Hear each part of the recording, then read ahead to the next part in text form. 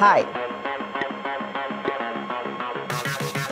All students who have successfully completed the first year, so 60 credits, of their main bachelor degree from Erasmus University Rotterdam can start with a philosophy of a specific discipline.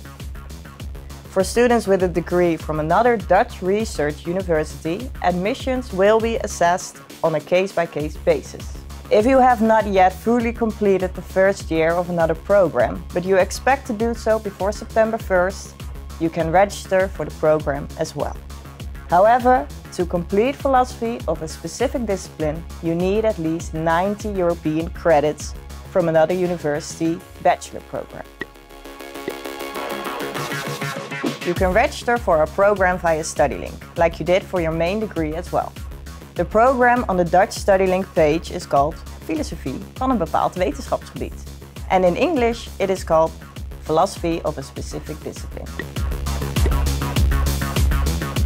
No, if you start the program while you're still busy with your main degree, there will be no additional costs. You will only pay the tuition fee for your main degree.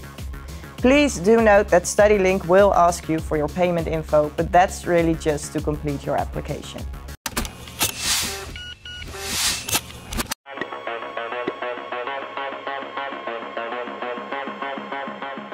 In this case, there are two options. One, you will continue with the master's program and you're enrolled for our program.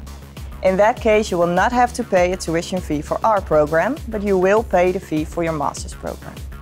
And two, you will not continue with a master's program and will be enrolled in our program. In that case, you may finish the program against a statutory tuition fee, so nothing really will change.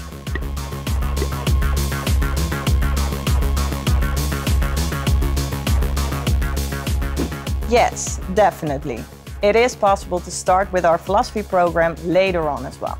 You don't have to necessarily be in your second year.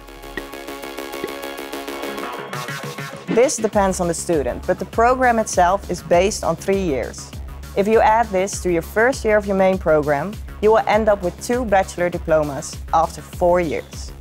It is, however, possible to speed up and try to finish the program within two years, or to slow down and stretch out the program over more than three years.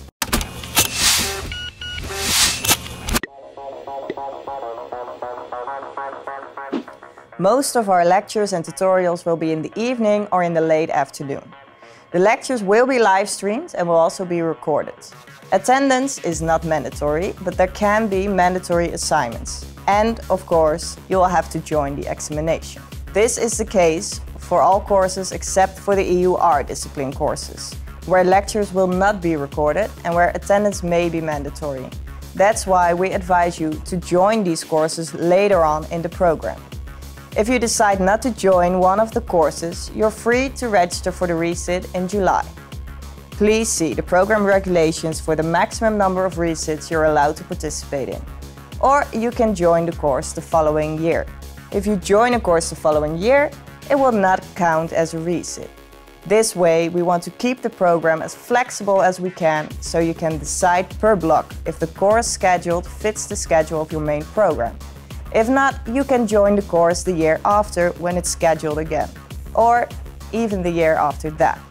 There is no minimum amount of credits you need to pass the first year.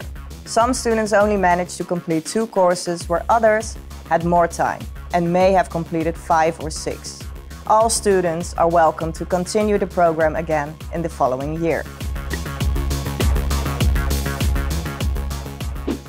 Yes, students going on exchange with their main program of course can still go and enjoy their experience. It's even possible to join four of our courses scheduled at the beginning of the year on literature basis while you're abroad. Nothing will happen, we will not hunt you down. You simply deregister from our program via Studielink and that will be it. But why would you?